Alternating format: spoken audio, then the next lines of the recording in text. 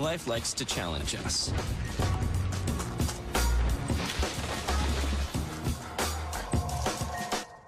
It wants us to know how much we can take. Because life just wants us to be ready. For anything.